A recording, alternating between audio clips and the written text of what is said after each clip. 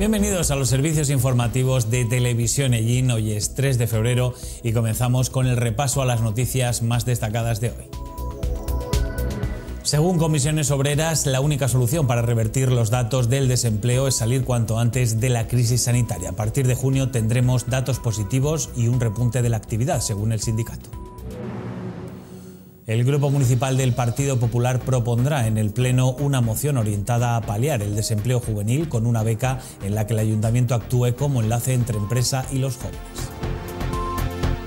El ayuntamiento instalará alrededor de 300 señales informativas en los principales puntos de interés turístico de Gin y pedanías gracias a una subvención de 24.000 euros.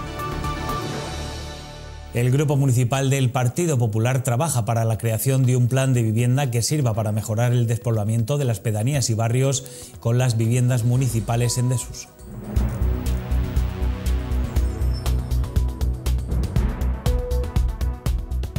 Tradicionalmente enero no es un buen mes para el empleo debido a la estacionalidad. Los datos de este mes son negativos, pero no distan mucho de las cifras de 2020 a pesar de la pandemia. Lo que sí aumenta es el número de demandantes de empleo, 300 más, debido a los trabajadores que están en ERTE. Este año, si hacemos la comparativa con el dato interanual, pues vemos que, no hay muchas diferencias, excepto en una, que es en la de personas de demandantes de empleo, que sí es cierto de que hay 300 personas más en enero de este año eh, que en enero del 2020 eh, y eso mm, creemos casi con toda seguridad que es el motivo de aquellas personas que están todavía en un ERTE. ¿no? Respecto al resto de datos, pues la verdad es que las diferencias no son muy grandes. Este mes en concreto, comparándolo con el, con el mes anterior, vemos cosa distinta que el mes pasado, que todos los datos de todos los sectores eran negativos, pues este mes de enero vemos que no es así. Mm, tenemos que, por ejemplo, eh, servicios, o sea, eh, industria baja al paro, en, construcción también baja y en el dato de personas sin empleo anterior también baja. ¿no? Suben, sin en cambio, pues en agricultura y en servicios, que servicios es comprensible por el tema de que estar ahora en fase 3 y lo que ha supuesto pues que más demandantes de empleo haya en cuanto al tema de restauración y hostelería. Los mejores datos los encontramos en industria con 23 trabajadores contratados más respecto al mes de diciembre, un sector que se caracteriza por su estabilidad. Eh, ahora mismo eso es un dato positivo el que en industria pues eh, baje el dato de desempleados porque es cierto lo que estás comentando, por ejemplo, eh, agricultura pues es un sector mucho más de trabajo eventual, pero industria no. Entonces, pues todo aquel el trabajo que se vaya creando en industria a la larga pues es eh, más beneficioso para los trabajadores que, que están en ese sector en concreto. Lo más sorprendente lo encontramos en el sector servicios, el más perjudicado por las medidas restrictivas, pero donde hay 14 empleos más que en el año pasado sin pandemia. Estábamos, pues bueno, atravesando en enero, pues también unos datos pues que no, no se, no se eh, dan con la realidad en ese momento, ¿no? Entonces ahí, pues bueno, eh, entendemos de que hay principalmente todo lo que venimos arrastrando desde que tenemos la pandemia, los grandes perjudicados en este sector, pues son los pequeños comercios, son los bares, son los restaurantes, son los hoteles. En eso se ve que es, independientemente de ese dato, que es cierto que el que tú comentas, que solamente eh, hay 14 personas más comparado con el año pasado, pero también en aquellas circunstancias del año pasado, pues fueron eh, de otro tipo, eh, porque, vamos, no recuerdo exactamente ahora mismo, pero bueno, ese motivo, pero prácticamente todo lo que venimos arrastrando es el, el tema de hostelería y restauración. El paro femenino es preocupante, supone el 66,5% del total. Tres de cada cuatro parados son mujeres. Si tenemos en cuenta y queremos hacer una radiografía en cuanto a género, pues veríamos de que el rostro de, una mujer de más de 40 años en la fotografía que tendrían los desempleados, porque prácticamente en la comarca de Yin eh, es de cada cuatro trabajadores que están en desempleo, tres son mujeres. Es una brecha de género que hay que ir solucionando eh, y yo creo que bueno que se están eh, aplicando sobre todo en los convenios que no lo tienen planes de igualdad para que cada vez sea la contratación más en mujeres que en hombres, ¿no? haciendo una discriminación positiva. Eso en muchos convenios que estamos negociando sí se está haciendo precisamente pues, para paliar eso, porque no es un problema solamente de la comarca de Gin, es un problema provincial, es un problema regional y es un problema nacional. Desde el Sindicato de Comisiones Obreras piensan que para revertir la situación del desempleo lo primero es salir de la pandemia. Eh, que yo soy en cierto modo un poco optimista, en el sentido de que yo creo que de cara al verano pues podremos ir ya recuperando eh, mucho empleo. ¿no? Eh, la Semana Santa yo prácticamente se da por perdida. Entonces yo creo que a partir del mes de junio quizás sí vayamos a tener pues una serie de datos mucho más positivos. Y yo creo que cuando arranque y esto se vaya un poco normalizando, aunque no se va a normalizar del todo, yo creo que vamos a tener un repunte importante de actividad.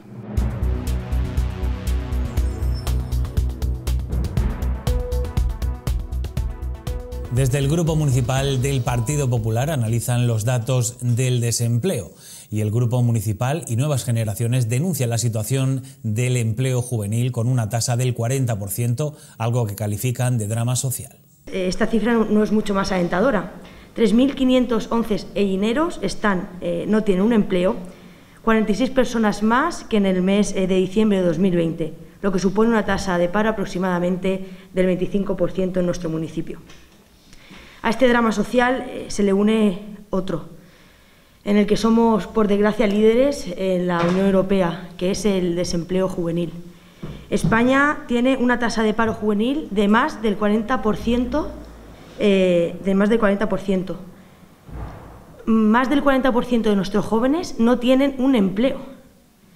Eh, tenemos una tasa de paro 20 puntos por encima de la Unión Europea. Reprochan al Ayuntamiento de Ellín que actúe y piden líneas de ayuda para la juventud ellinera. De 3.511 desempleados, 96 son menores de 20 años.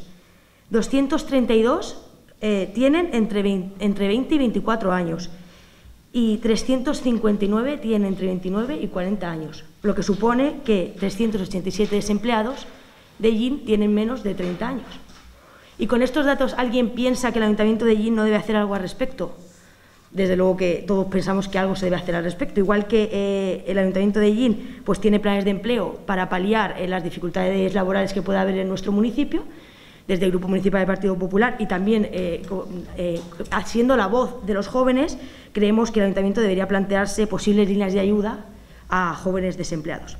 El Grupo Municipal del Partido Popular propone un programa local para facilitar la entrada al mundo laboral de los jóvenes. Desde el Grupo Municipal del Partido Popular estamos trabajando en la elaboración de una moción para paliar eh, los efectos eh, del paro juvenil en nuestro municipio, que trata sobre la, implantación de un programa local de formación en prácticas en empresas de nuestro municipio. Este programa local de formación lo podemos ver en empresas, eh, o sea, perdón, en ciudades de nuestro entorno, como por ejemplo en Almansa, y tiene como objetivo facilitar la incorporación al mercado laboral de jóvenes desempleados que estén en posesión o bien eh, de un título universitario o de formación profesional de grado medio o superior o títulos oficialmente reconocidos como equivalentes o simplemente el certificado de profesionalidad de nivel 3 eh, o superior. Explican que sería una beca municipal encaminada a incorporar a jóvenes desempleados a empresas de la localidad, sirviendo el ayuntamiento de enlace. ¿Qué proporcionaría este programa? Bueno, pues eh, de esta manera los jóvenes de nuestra ciudad em, tendrían un primer acercamiento al, mundo laboral y facilitaría también a las empresas eh, la posibilidad de, completar el nivel, eh, su nivel de recursos humanos. Por lo tanto, eh, se trata simplemente de que el ayuntamiento dé una beca a jóvenes desempleados de nuestra ciudad. ¿Y qué haría el ayuntamiento? Bueno, pues actuaría de enlace entre los jóvenes desempleados y las empresas de, nuestra, de nuestro municipio pretenden presentar esta propuesta como moción en el pleno ordinario del mes de febrero. Como he dicho, estamos trabajando en la elaboración de esta moción, que lo más seguro y lo que queremos es que se presente para el pleno de este mes. La concejal del Grupo Municipal Popular de Ellín, Miriam García, manda un mensaje de esperanza a los jóvenes en situación de desempleo. Yo desde aquí quiero lanzar hoy un mensaje de esperanza a los jóvenes ellineros que no encuentran un empleo,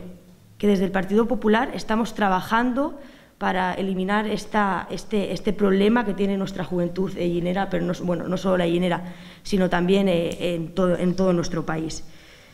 Yo creo que es importante que tengamos claro lo que necesitan los jóvenes, que necesitan autonomía personal, un empleo, esperanza, nada de utopía, que esto lo tenemos mucho en todos los gobiernos socialistas, tanto en la nación como en la región y también, aquí en el gobierno de, de este ayuntamiento, y también superar el infierno fiscal que está comprometiendo nuestro futuro. Y yo quiero que los jóvenes eh, sepan que desde aquí, desde el Partido Popular, vamos a trabajar eh, por superar todas esas barreras.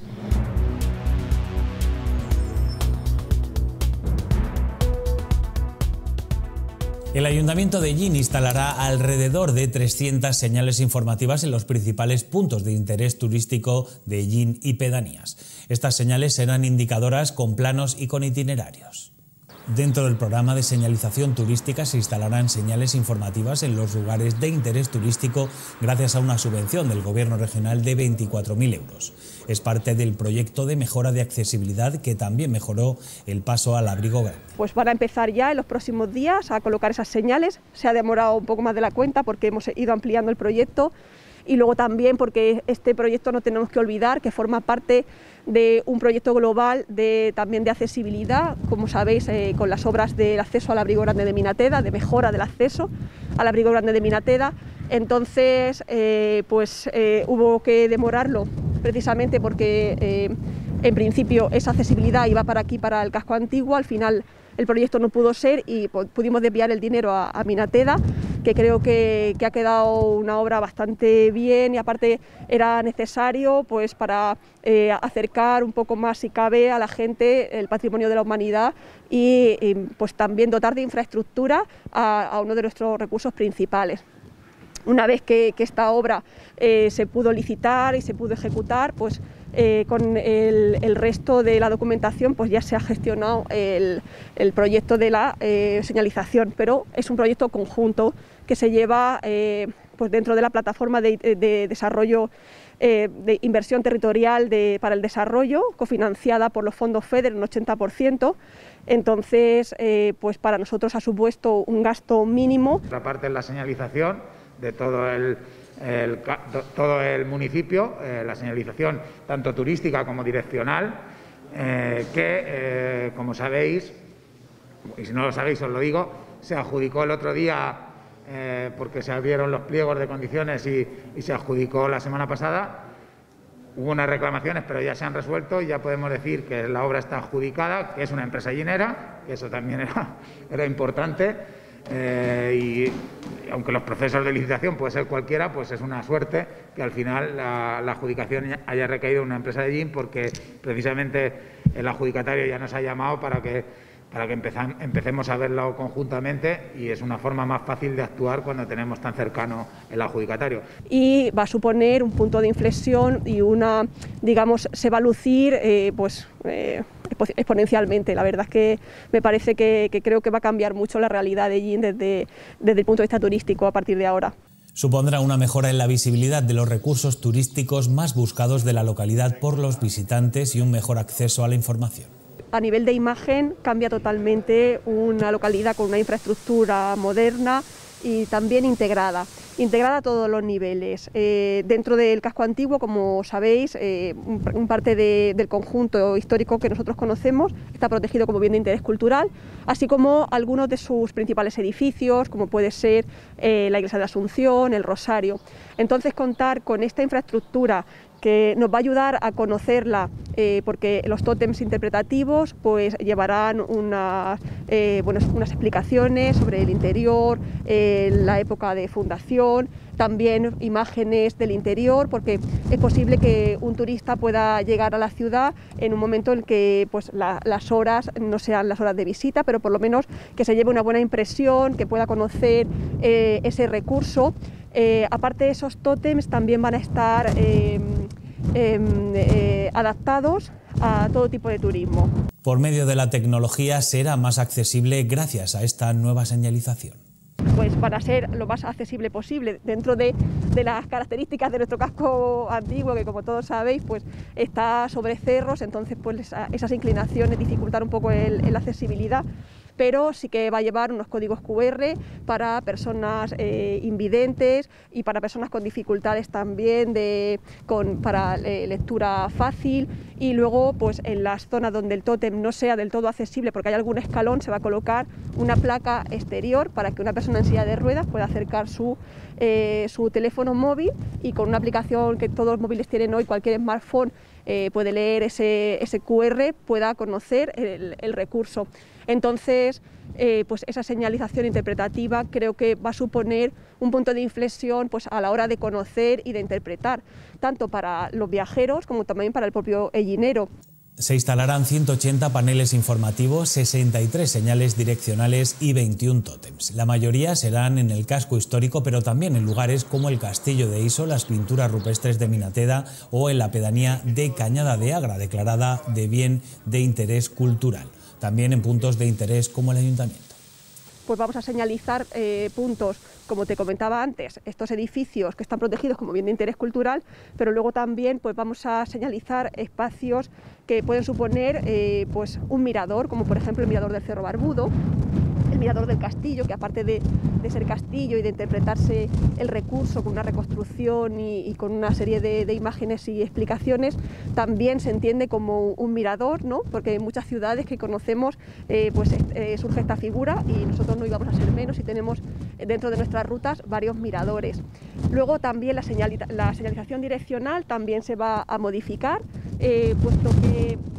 es necesario e imperioso unificar y tener un único criterio eh, y también la imagen de Yin creo que se verá eh, eh, pues modificada y modernizada. desde todas las entradas a la ciudad se van a, colocar unos tótems, pues, perdón, son unos los postes de toda la vida con las señales que nos indican sobre todo el casco antiguo y, el, principal núcleo de la ciudad donde se encuentra la administración local, pues el, el ayuntamiento y demás, el museo y el punto de información Infotour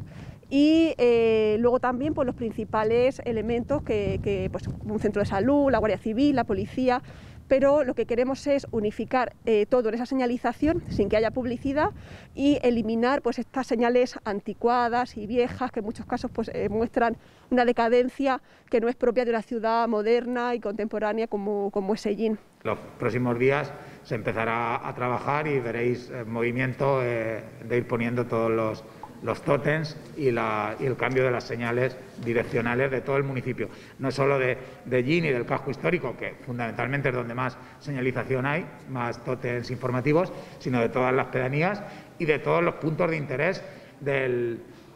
municipio, desde la Plaza de Toros a la Villa Romana, eh, todo lo que hay en las pedanías, es decir, eh, que tenemos bienes de interés cultural, que tenemos eh, Semanas Santas de interés regional, que tenemos eh, monumentos eh, arqueológicos que bien no son bienes de interés cultural en sí mismos, pero que como castillos o torres que son, están incluidos dentro del catálogo de todos los bienes protegidos, como es la Torre de Iso, o, algunas cosas que no tienen una protección, pero que vamos a trabajar en que tengan una protección, como son los danzantes, y, también van a estar incluidos en esos tótems eh, informativos que van a estar en todo el municipio. Eso lo iréis viendo que se irá poniendo en los próximos días.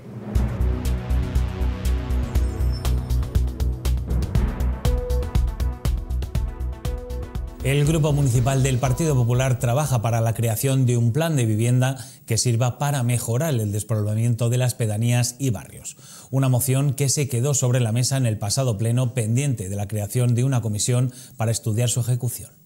En el pleno de enero, el Grupo Municipal del Partido Popular presentó una moción donde se solicitaba la puesta en funcionamiento como alojamientos de turismo rural de cuatro casas de titularidad municipal que se encuentran en Cañada de Agra. Y también la línea del eh, fomento de la vida en nuestras pedanías, porque tenemos una eh, permanencia, una permanente vida centrada en el casco histórico y en el centro urbano de Yin, pero nuestras pedanías son las grandes olvidadas. Eh, no hay que eh, olvidar que los presupuestos del año pasado, 2020, fueron las grandes olvidadas también y nosotros queríamos poner el foco en ellas. ¿Cómo podemos poner el foco? Pues una de las iniciativas que teníamos era ver que en el inventario de inmuebles que son de propiedad municipal teníamos muchas de esos inmuebles sin utilizar desde hacía muchos años y pensamos que una idea inicial buena podría ser el fomentar el turismo rural.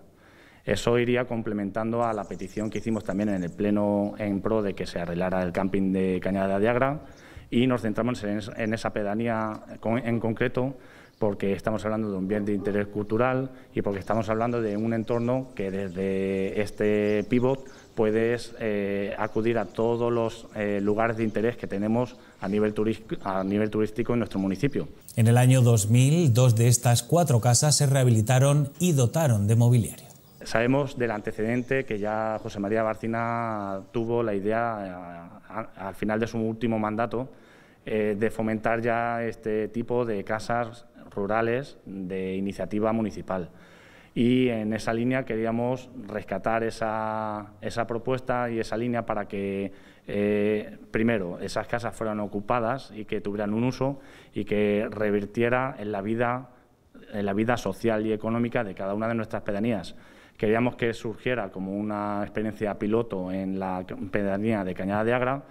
pero una vez que se fue desarrollando esta propuesta de moción, a la vez que la presentábamos, eh, tuvimos el, acierto de que el Partido Socialista eh, la acogió de buena, con, buena postura y añadió que, esa, que esos fines, más que para turismo rural, que pudiera tener sus, sus controvertidas gestiones, podía ser más bien enfocada para que fuera una, una batería de inmuebles que se pusieran en la mesa y en oferta para que los ciudadanos pudieran adquirirlos y así eh, adquirir la propiedad de estos inmuebles que llevan muchos años sin uso. El objetivo principal de la moción es dar uso a inmuebles del ayuntamiento como una medida contra el despoblamiento, ya sea para alojamientos rurales o iniciativas empresariales o también fomentar asentamientos de población. Pues el objetivo vimos que se centraba más y que al final no dejaba de ser lo que nosotros, el Partido Popular, pretendíamos. Si bien tuvimos la iniciativa inicial, hemos tenido la humildad y la capacidad de trabajar en equipo con el Partido Socialista para que se cree, en definitiva, una mesa, una comisión en la que se sienten las bases para que los bienes inmuebles, tanto de estas pedanías como del casco histórico que tenemos en Ellín, por fin tuvieran un uso y cumple varios objetivos. Eh, fomentamos la vida social y económica de estos entornos, de estos barrios y de estas pedanías, eh, conseguimos que estos inmuebles eh, queden en ruina, como muchos de ellos están viendo muchos cuando paseamos y vemos estos inmuebles que, que, están cayéndose y, que están en deterioro. Y al final creemos que puede ser una iniciativa que vuelva y se centre en estos sitios donde la despoblación está siendo protagonista. esperamos que el desarrollo se lleve a cabo de forma fluida. Los populares trabajan para que se cumpla el compromiso de la creación de esta comisión. Al final, las eh, mociones que se están quedando en la mesa es eh, un motivo para que se queden un poco en el olvido. Nosotros ahora el objetivo lo pondremos en que haya fluidez y que las cláusulas y las pautas para que esas casas se ocupen no lo sean por eh, personal que quiera especular en ellas o que no las vaya a utilizar realmente. Entonces, abogaremos para que dentro de esas cláusulas se comprometa aquel que la quiera a que la utilice, a que la reforme con un tiempo, a que sea su primera o tenga una explotación visible en ella y que realmente cumpla los objetivos que nosotros pretendemos, que no es otro que se fomente la vida económica y social en nuestras pedanías y que el casco histórico deje de tener casas de propiedad municipal sin ningún uso y en el peor de los casos en ruina. De propiedad municipal hay bienes inmobiliarios sin uso, no solo en la pedanía de Cañada de Agra, sino en el resto y también dentro del casco urbano. Eh, la experiencia piloto queríamos que funcionara en esta pedanía, como bien hemos dicho, que es bien interés cultural, que es un entorno envidiable y que podía ser una experiencia piloto si bien existen muchísimos inmuebles más que son objeto de, o susceptibles de poder entrar en esta batería de, entrar en la comisión y ofrecer para que sean ocupadas, para que sean adquiridas. El entorno de las pedanías sobre todo las que pertenecen a la colonización. Sabemos que hay casas que antes eran utilizadas por funcionarios y que ahora están en desuso y inmuebles que están olvidados porque eh, el mismo Partido Socialista, el partido de gobierno, reconocía que era una cosa que tenía en olvido y que no había eh, una inquietud por, por, ellas porque eh, hemos sido nosotros, el Partido Popular, quien las ha puesto y las ha sacado a la luz y bueno, nos alegramos de ello porque al final, a tu pregunta, estamos hablando de una serie de inmuebles que la gente de Gin puede ver y visitar en el portal de transparencia de la web del Ayuntamiento de Gin, que el catálogo de inmuebles que son de propiedad municipal, eh, tanto en el casco urbano de Gin, centrándonos en el casco histórico, hay una cantidad alta y en pedanías tenemos también una serie de bienes inmuebles en los cascos urbanos que pueden ser óbices de, de gente que esté interesada Gracias a las redes sociales y a los comentarios que ustedes nos dejan en ellas, ya sea en Instagram, Facebook o Twitter, les trasladamos al concejal popular las dudas que nos han planteado con esta noticia. Eh, nos preguntan en nuestras redes sociales, Silvia Torres dice que, ese dinero, que dónde se revertiría y sobre todo le preocupa si se quedaría en la pedanía. Pues al final eh, nosotros sí que ya hemos conseguido que si no en el presupuesto del año 2020, en el 2021 se contaran mucho más con la parte que toca pedanías, una partida directa. Hemos eh, conocido que el casco histórico también tiene presupuesto propio para que tengan actuaciones eh, durante el 2021 y ese dinero que revirtiera, pues por supuesto las pedanías tienen muchas necesidades, pero ya os digo que eh, a través de palabras de nuestro presidente, de Manuel Serena, nosotros siempre fomentaremos que se eh, mejore la calidad de nuestros dineros con un EGIN más limpio, con un EGIN más seguro, con un EGIN más vistoso y sobre todo con medidas que vayan con un EGIN más próspero de cara a los emprendedores, de cara a, las líneas que tengan que ver con fomentar las ayudas a nuestros autónomos y a nuestros trabajadores. Eh, Pepe Requena también quiere saber el uso que tienen esas viviendas que se rehabilitaron en 2000, en el año 2000 pues a Pepe Requena y a todos los dineros decirle que ese uso es cero, ese uso es nulo. Hay que decir que el Gobierno ni se acordaba ni tenía por asomo en su mente el, hacer algo con estas viviendas que no tienen ni uso y que en el mejor de los casos eh, aún conservan la estructura en buenas condiciones, pero en el peor de los casos son casas que están siendo ocupadas ilegalmente, que están siendo foco también de problemas para los vecinos por salubridad y por eh, supuestamente personas que se cuelan en ellas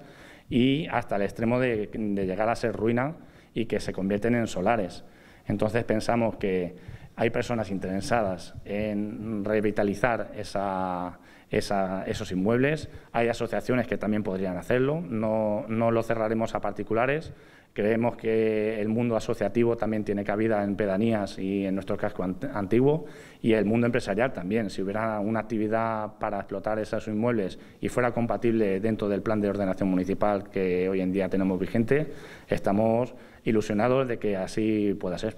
de que por fin tenga un uso.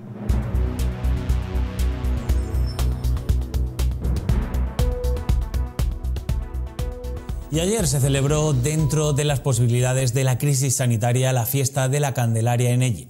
Hoy, Día de la Candelaria, ha tenido lugar en el Santuario del Rosario los actos que, hemos programado para este año. Debido a la pandemia, pues no se ha podido celebrar como viene siendo habitual en años anteriores y, este año, pues como digo, ha sido distinto. Hemos abierto el santuario a las 4 de la tarde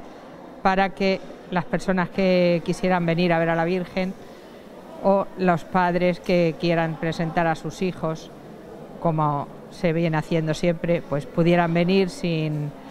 el agobio de juntarnos aquí más personas de las que podemos estar.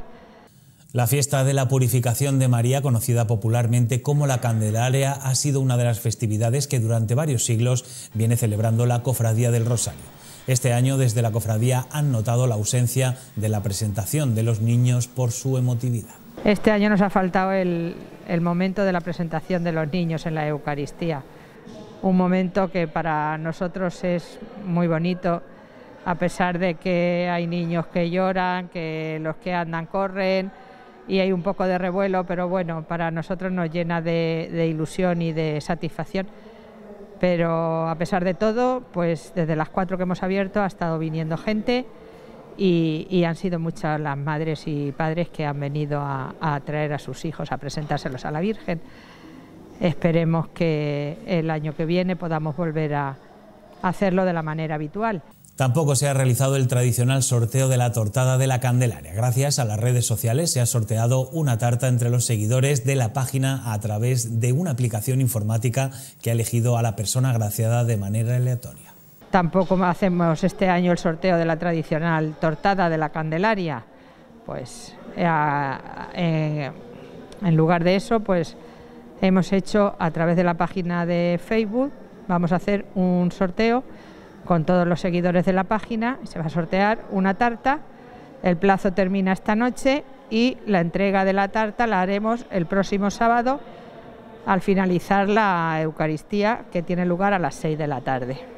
La agraciada con la tortada de la Candelaria ha sido Yolanda Fernández Moreno. Desde aquí le mandamos nuestra enhorabuena. La entrega se llevará a cabo el próximo día 6 de febrero en el Santuario del Rosario, una vez finalizada la misa. La persona ganadora de esta tarta la invitamos que venga el próximo sábado, donde le haremos entrega al finalizar la Eucaristía de las 6 de la tarde.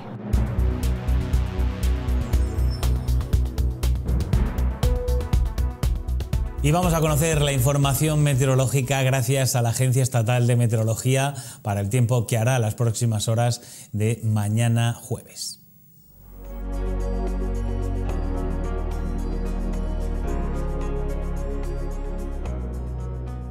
Buenas noches. Tendremos mañana cielos nubosos en Albacete con predominio de nubes medias y altas disminuyendo por la tarde a cielos con intervalos nubosos. Las mínimas van a permanecer sin cambios, las máximas subirán. Tendremos 21 grados en Ellinto Barra y Ontur, también en Albatana, 20 grados en Fuente Álamo y 19 grados en Albacete. Es una información de la Agencia Estatal de Meteorología.